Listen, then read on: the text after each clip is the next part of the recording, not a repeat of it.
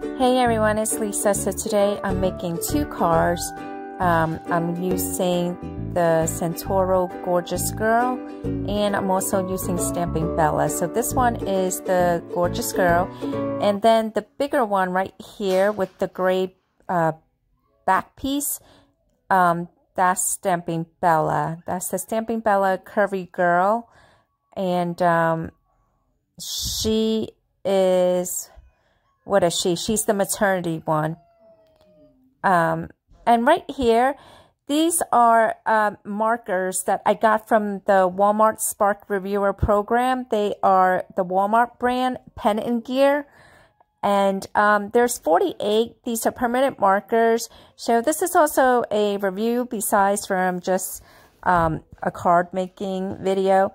So um, I'm just drawing it out to see uh, how the color looks on the paper itself. It's something I do with all of my markers, but the one thing that is, I guess, a con for, um, you know, doing your pros and cons, and one of the cons for um, the Pen and Gear uh, 48 marker kit, permanent marker kit, is that there's no name and there's no number on it. So it makes it very hard to, um, you know, to label it. So if you watch my other videos, I usually have a color chart and, um, you know, that's very easy to do. You just basically take a piece of paper that you normally use for, um, you know, all of your medium, you know, whether it's stamping, drawing, whatever. And then you uh, would just, you know, use the marker on that piece of paper and then you would just label it according to the name or the number that it has. But um, with the Pen and Gear marker kit, it didn't have any name for the colors and it didn't have any numbers for the colors. So it was impossible for me to label them. So that's one thing I didn't like. And also there didn't seem to be like a huge variety, but, um, you know, of course it was for free. Um, but, you know, e even for free, I would give it three stars. Three out of five stars just for the fact that you do get a lot and comes with this really um, nice storage kit to keep everything in place. But other than that, um, there wasn't a whole lot of um, colors that were in the same um, group. So um, that was a little bit difficult. And also it was really hard to um, be able to do a color chart for it because there was no name or number for each of the individual markers.